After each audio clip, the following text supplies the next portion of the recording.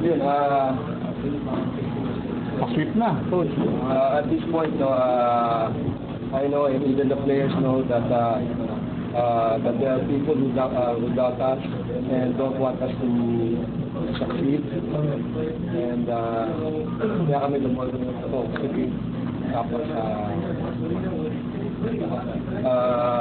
even with you guys, uh, alam ko na may nabasa ako mga article, iba yung tone na para siyempre, may mga gusto ko yung team na pumasok. But it's okay with us. It's normal.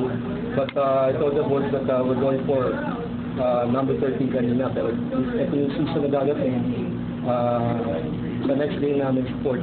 14 na po namin. Uh, in fact, ang mga players right now, uh, ginugulo sila ng mga uh, a lot of people asking about yung mga sweep sweep. But even though uh, I told them, just focus on uh, one game at a time. Talagang isa-isa niya. Coach, sinong may advantage tingin mo? Go- When yung Lasal yun na. Hindi ko alam. Hindi ko alam. Hindi ko alam. Wala pa. Actually, hindi naman namin nag-usapan. Tomorrow, we'll scout ang Lasal para tomorrow. Uh, they've been playing well.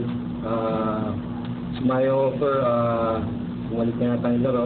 Hopefully sa Thursday, hindi bumalik. Wala ulit. Paiwan sa bahay. May iwan na lang sa bahay. Hmm. uh, big game din sa kanila for yung Ateneo Lasal tomorrow. So yun, doon, pala kami mag-scout.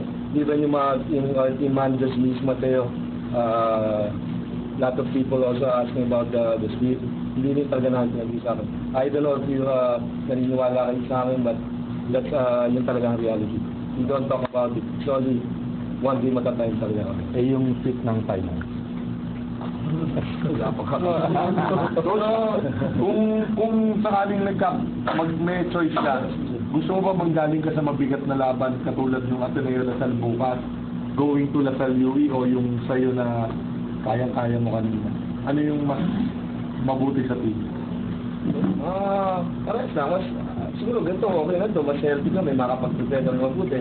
Pero may advantage din siyempre pag malakas ang kalaban mo, ah, mas nakapag-practice ka. Hindi ko naman yung minamalit yung, yung duty, but ah, siyempre, ang Ateneo Lasal, mas magandang laban yun, dibdigan, di ba? Pero at least makikita ko sila agad. Kami, nakapag-prepare pa rin kami. Mas healthy kami. So, May tinago ka ba kanina, Coach? Para wala. Wala. Wala. Sila kasi bukas, labas na labas ang laro nila Ah, sigurado. dahil siya kasi, siyempre, mga Oo. Yun lang, siguro nakapaglaro lahat, nakakuha